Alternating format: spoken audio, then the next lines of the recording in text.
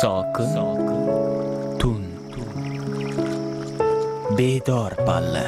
Bedor palla. Osuda tun. Osuda tun. Cheksiz xayollar og'ushidagi zamondosh. Bu oniy lahzalarda adabiy manzillarga sayr etsak. Barmog'im o'padi. Chiroq tugmasin zulmat yiqiladi xonamga shu on. Mening g'aflat tunda bedorligimga ochiq derazadan oy boqar hayron bedorlik osuda tun. Xurshid aka mana shu aynan bu gapimiz kitobga borib taqalyapti mana siz tengi avlodlarda har bir kuzatsak ularni asarlarini kuzatsak mana sizning fikrlaringizni suhbatlaringizni mana qarasak aynan shu kitobga urg'u berilgan o'sha mutolaaga urg'u berilgan.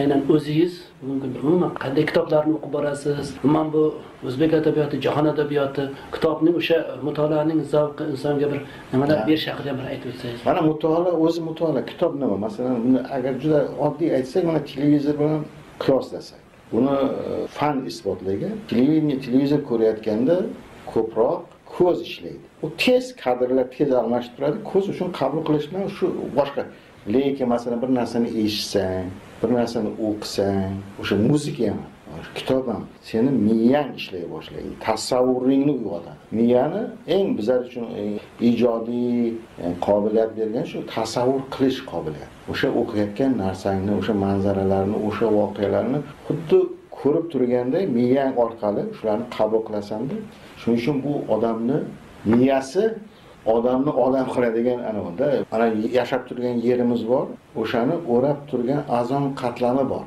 U po'stdumaga o'xshar ekan ilmda shunday deyiladi. Yuqqagina uncha qattiq emas o'sha quyoshni va boshqa ularning zarar nurlarini saqlaydi. Bu yoqqa kirishiga yo'l qo'ymaydi. Ana shu miya qanday o'sha sal o'pirilib qolsa tasavvur ishlamasa faqat hamma narsani ko'z bilan qabul qilib yuraversak bir mm, marg'iloniy degan donishmand aytgandek hamma o'qigan hamma narsa bu himmatga aylanmaydi. Miya aytadi bu yaxshi bu yomon deb. Aql aql farosat degani hammasi mana shu miyamiz bilan bog'liq. Endi to'g'ri muhabbat ular yurak bilan bog'liq. Bir birini shular to'ldirib omoqda qilib hammasi o'sha mutolaa paytida ana shu ikki yurak bilan chunki hayajonlanasan yaxshi she'rlarni o'qiganda hayajonlanib hatto titrab ketasan u yurakni ta'siri.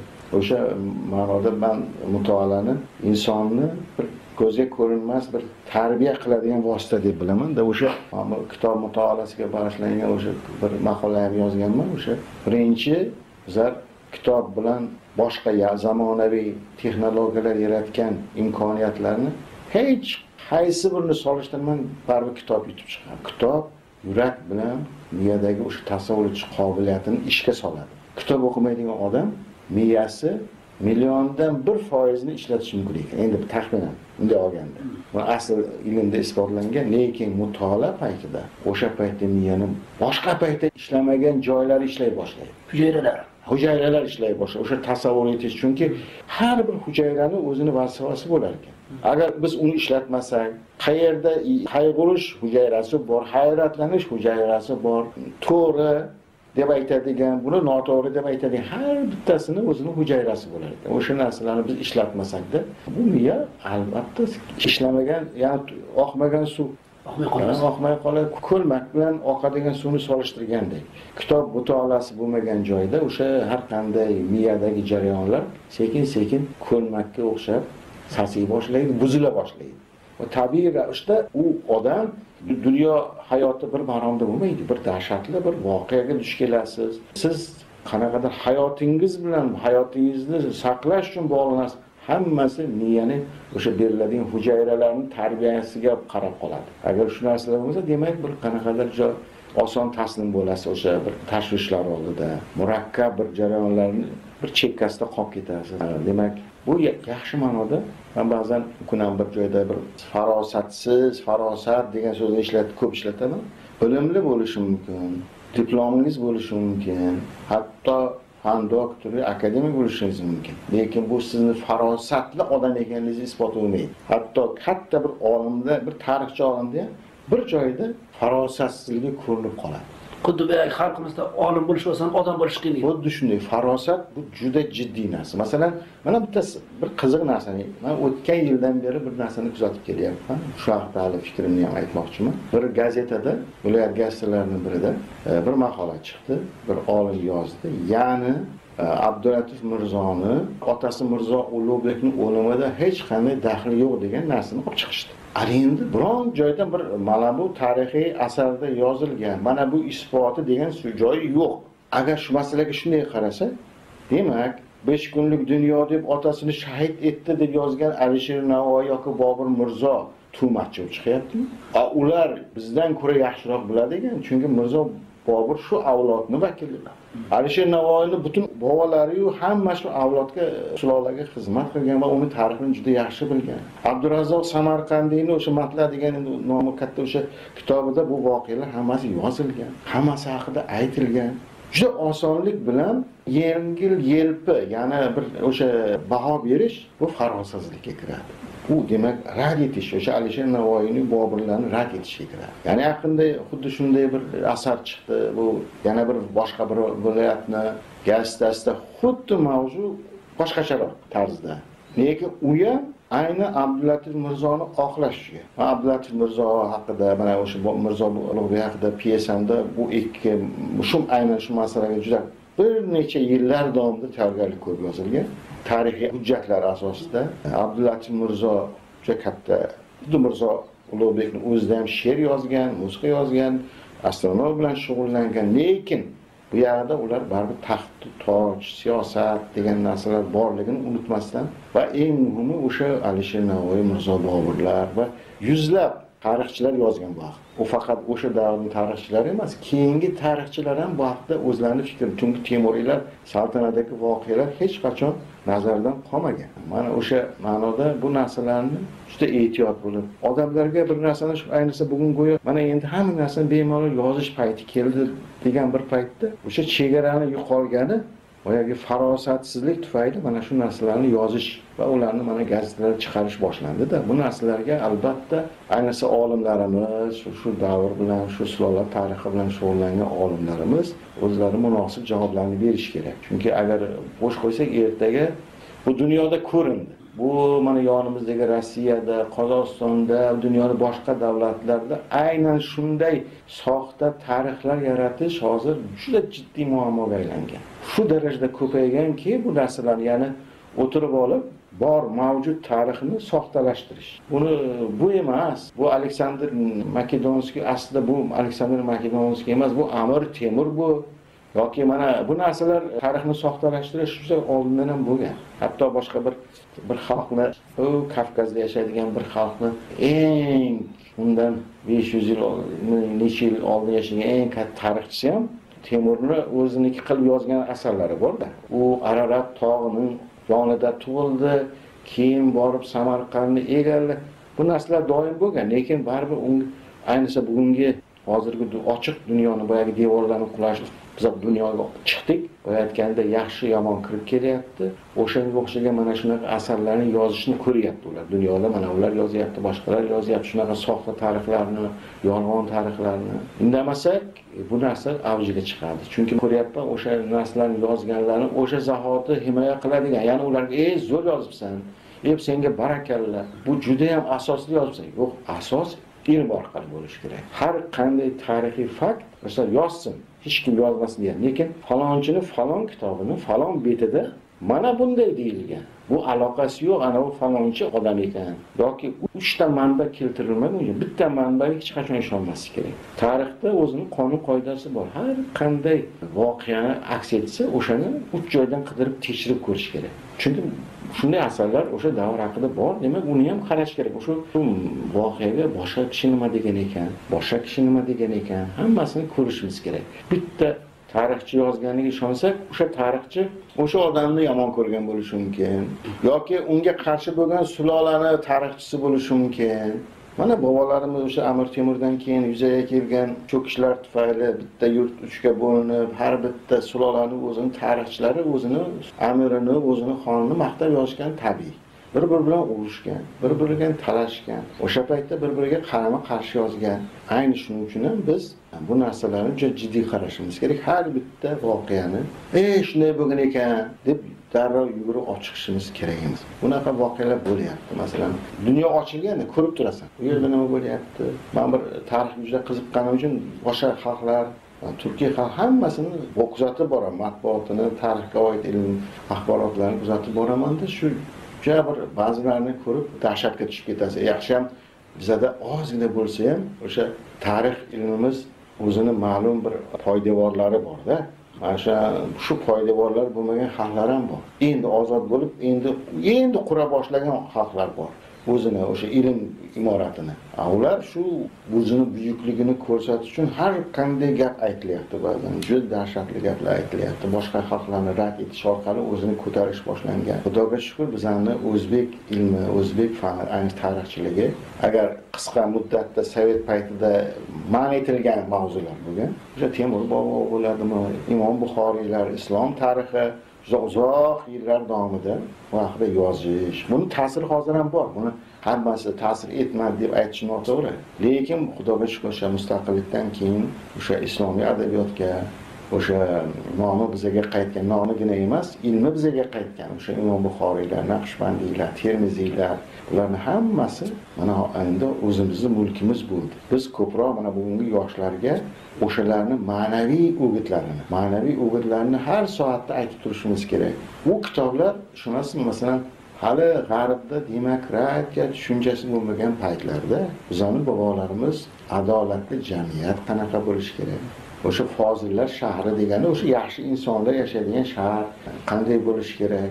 Hammasini yozib ketgan ularni kitobida faqat demokratiya nomi yozilmagan lekin qanday adolatli?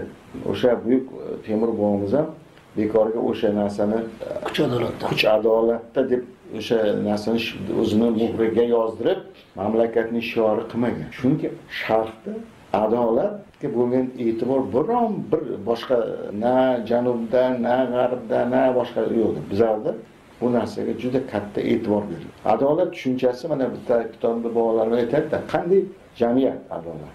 Xotirjam tinch davlat bo'lsin deydi. Mehnat qilishiga imkoniyat bo'lsin va shu mehnatda oladigan haqqi bilan o'zini bolasini oilasini boqa olsin.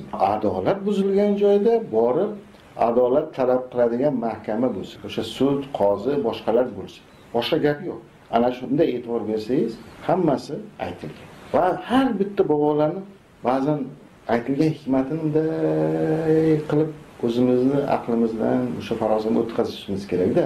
Ey mana o'sha mana doimo ko'p aytib yuradigan doim gapirib yuradigan bir gapi o'sha ibn sinoni bir gapi bor. Bobomiz aytgan ekanda agar uchta narsa bor agar xudo taolo insonga shu uchta narsani bergan bo'lsa demak hamma narsani bergan bo'ladi. Birinchisi deydi tabiiy salomatlik. Tabiiy hammamiz salomat. Ikkinchisi xotirjamlik. Uchinchisi molu davlat deydi. Biza mol davlatda faqat pul boylikda emas.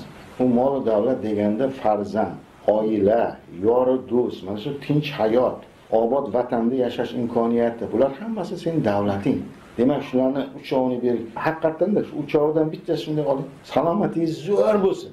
Lekin oilangiz yoki farzandingiz bo'lmaydi. Keltirib qoladi yoki yana bir bobomizni bitta gapi bor aytadiki har bir insondan bir uch narsa borki shu har bir insondan bittasi qolsin deydi. Birinchisi o'zi aslida bir e, farzand qolsin deydi. Farzand qolsin yaxshi farzand. Odobli aqlli salohiyati baland vatanni xalqqa xizmat qilishi mumkin bo'lgan farzandlar qolsin.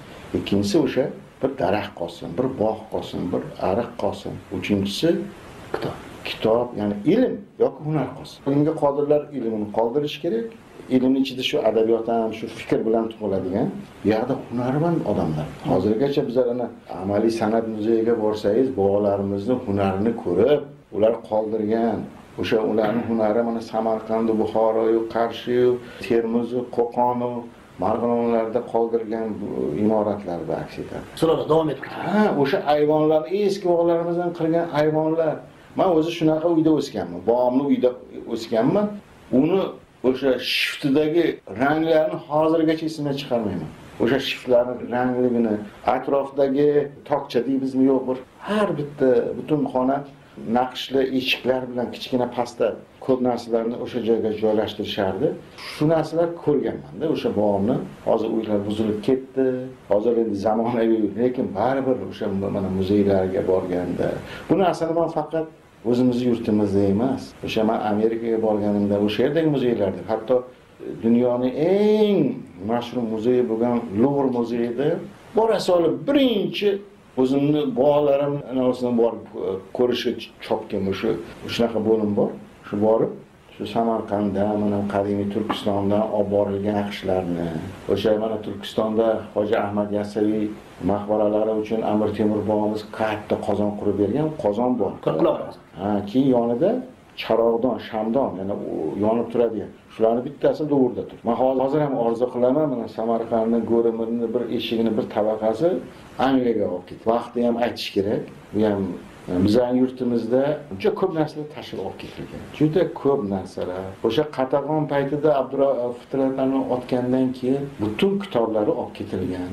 Sankt peterburgda turibdi shu kitoblar. Temuriylarni moskvadagi leningraddagi germaniya butun yevropada ko'p davlatlarda narsalari bor. Man bir bu mustaqillikdan oldin nyu yorkdami vashingtonda bir amir temur va temuriylar davri san'ati degan juda katta ko'rgazma o'tkazilgan shu ko'rgazmani rangli foto albomi chiqarilgan suratlari bilan.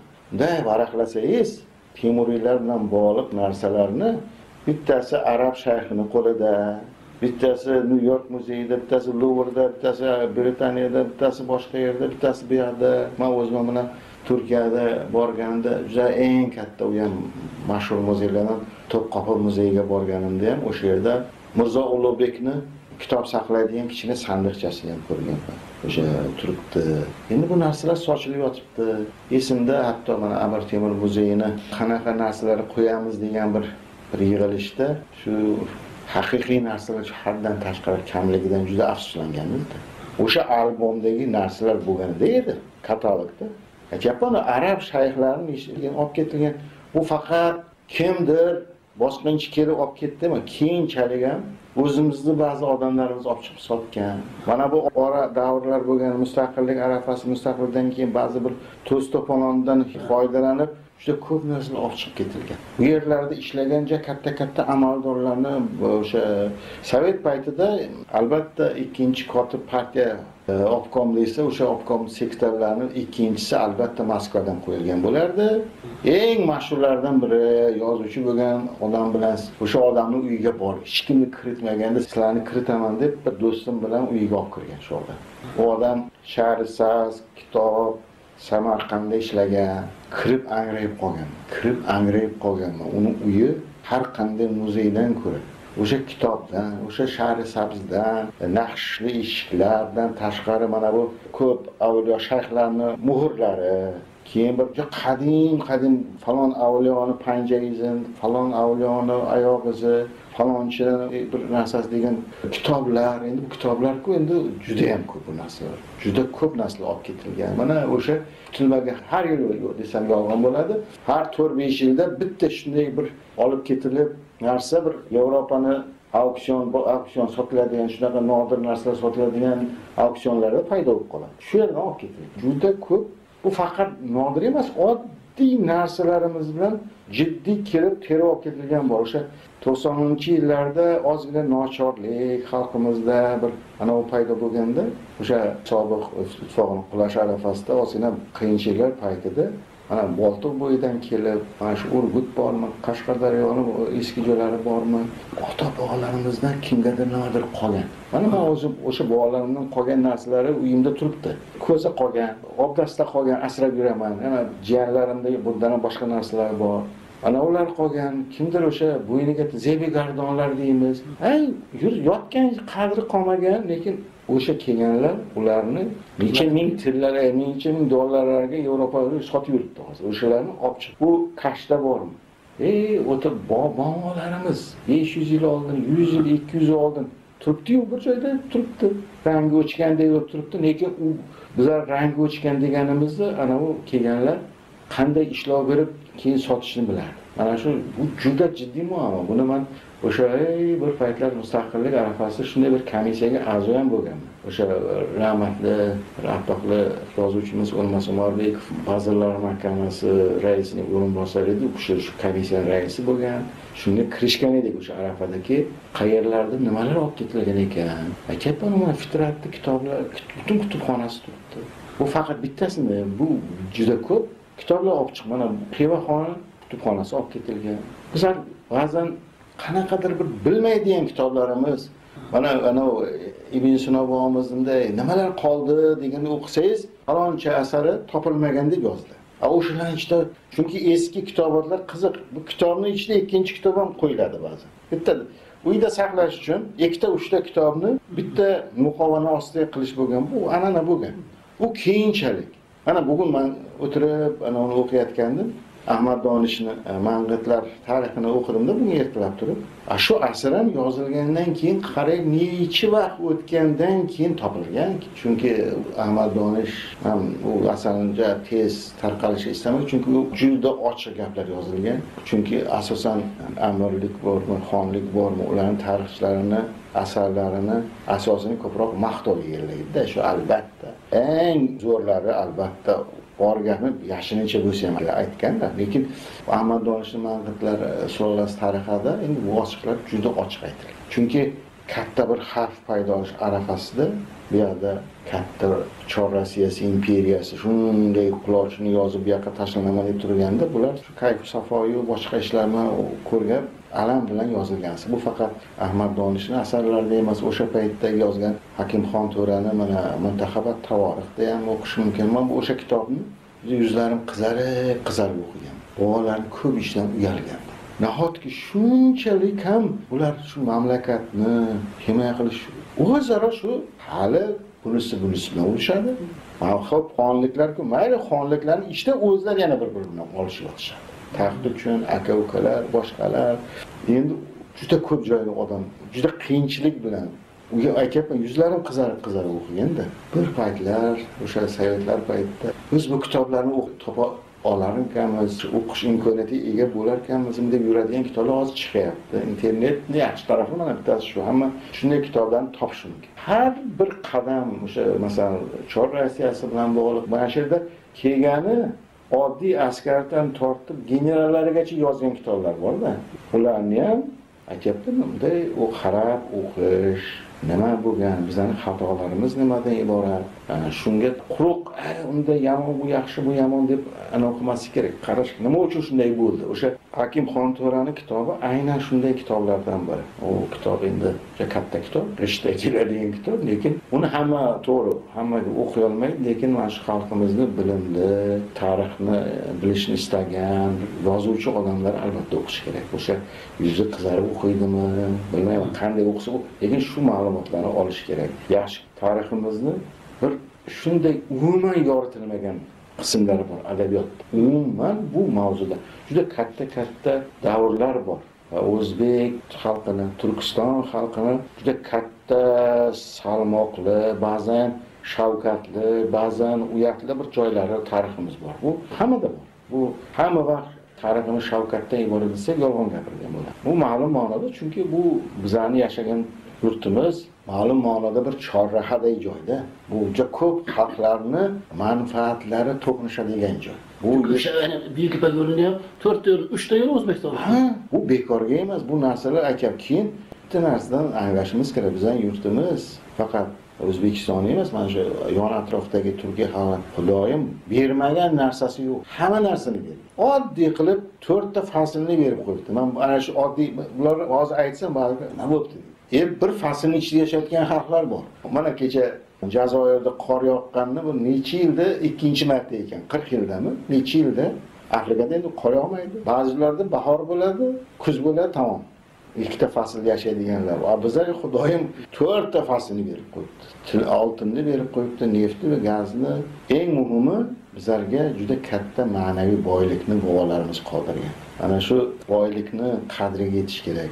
U ko'pincha bizlar o'zimizni nima deydi bilmaganimiz uchunda chunki boyagimdek kiramiz internetga televideniyada ko'ramizda go'yo hamma narsa Avropada yoki G'arbda muhayyoda ularni ustunday ko'rinadi. Bir turk shoirini she'ri bor. Mani mandan olib ketgan narsalarimni endi menga qaytarib sotyapti degan narsa borda. Mana boyaga aytgan o'sha Xorazmiyni aytdik. A bu faqat Xorazmiy emas, masalan Ibn Sinoni meditsinani yaratgan asoslari. O'sha faqat o'qishini emas, mana Farobiyni, o'sha ilk notani birinchi paydo bo'lishini e, shakllantiruvchi g'oyalarni yaratgan odam. O'sha ko'p e, yoki o'sha globusni masalan beruniy bilan bog'langan yerni birinchi marta shu yer sharida ko'rib shuni yasagan odam.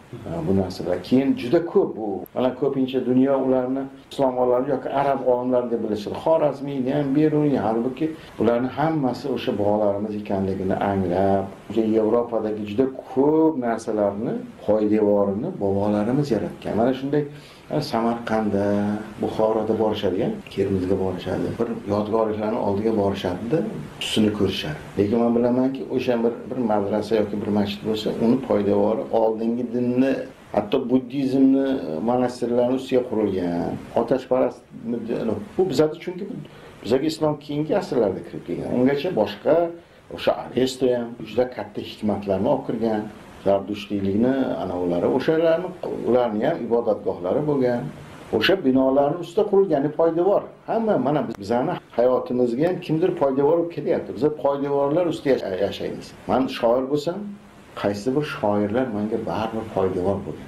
Qaysidir olim bo'lgan bo'lsa nima mana hozir bugun ilm haqida tarix haqida agar nimadir bilgan bo'lsam demak kimdir menga poydevor bo'lgan. Shuni poydevorni ustida quryapman o'zimni bilganlarimni. Ana shu poydevorlarimni yevropadan ko'ra bu yerda ekanligini bizlar anglashimiz kerakda. Bu juda muhim narsa. Bizlar bunday ko'ramizda ha televideniya u yoqdan kelgan bunisi bu yoqdan bunday qarasang bobolarimiz o'sha alisher navoiyni farhod uchun dostonni ko'rsangiz o'sha sehrli oynada ko'rib televizorda ko'ribda endi o'shalarni yaxshi ko'rib qolgani.